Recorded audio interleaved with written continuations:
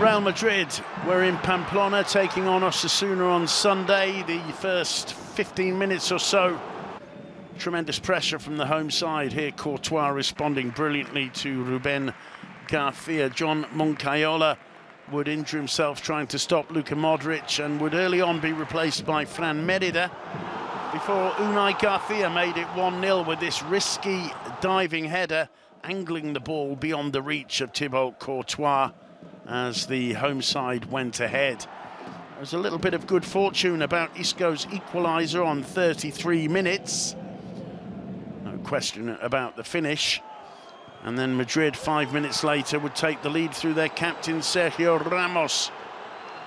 After Casemiro had headed Modric's corner back across the face of the goal in the second half. Ruben Garcia had an opportunity to equalise before Benzema showing great generosity, laid this one off for second half substitute Lucas Vazquez to make it three.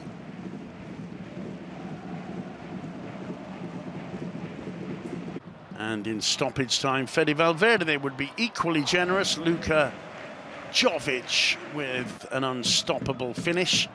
There was a chance for some consolation from Inigo Perez, but the final score was Osasuna 1, Real Madrid 4.